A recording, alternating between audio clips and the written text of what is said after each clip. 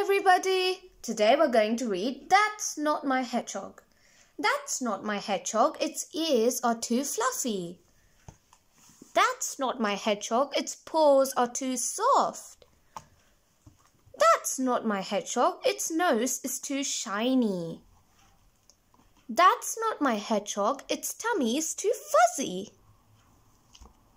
That's not my hedgehog, its tongue is too smooth.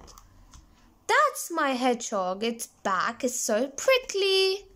The end.